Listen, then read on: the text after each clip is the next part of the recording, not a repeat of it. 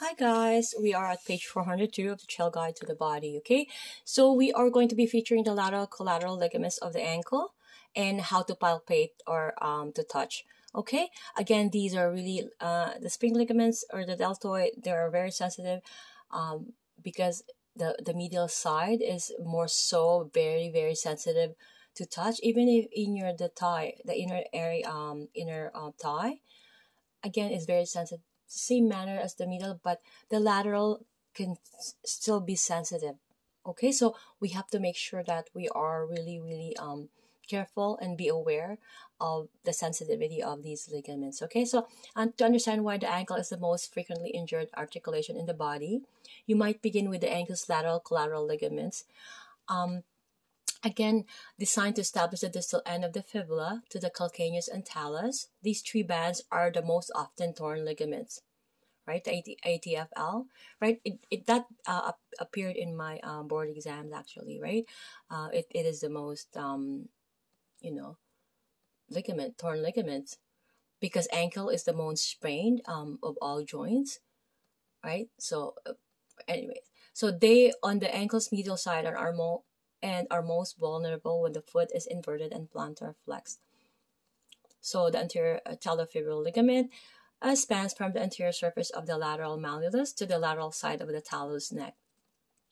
So when the foot is weight bearing and excessively inverted, this ligament is often the first to be torn. Okay, so that's so the ATFL. Okay, so this is really important um, um, info, guys. Okay, so the posterior talofibular ligament is much stronger than its anterior counterpart and only damaged in the most severe of ankle injuries, such as dislocations. So it attaches to the posterior side of the lateral malleolus and the talus lateral tubercle. So between these two ligaments is the calcaneofibular uh, ligament.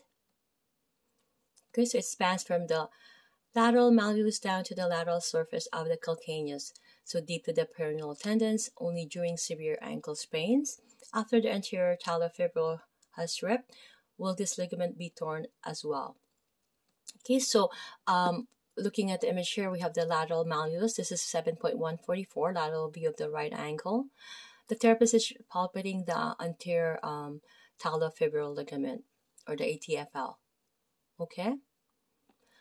Okay, so um, uh, please look at the image 7.145 and also 7.146 after uh, because I'm going to be featuring the posterior tal talofibular and also the calcaneofibular um, with the, with the, the same info. Okay, so a partner uh, being a supiner seated, so we're gonna try to um, um, locate the anterior uh, talo fibular or ATFL. This ligament is not very distinguishable, distingu distinguishable, distinguishable.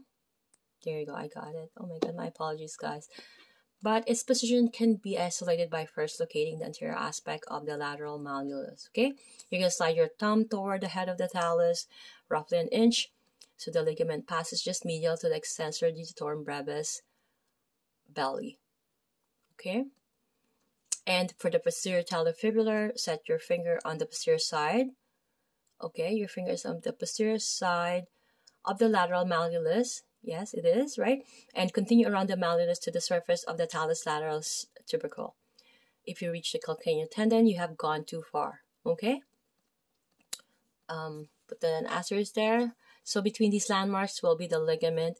Also use gentle pressure here since this region can often be tender. Okay, so I'm um, looking at the calcaneofibular um, ligament here. The therapist is trying to locate the distal end of the lateral malleolus and the lateral aspect uh, of the calcaneus. Okay, so this ligament runs at a slight oblique angle and passes posterior to the peroneal tubercle. Okay, so I'll see you guys on page 403.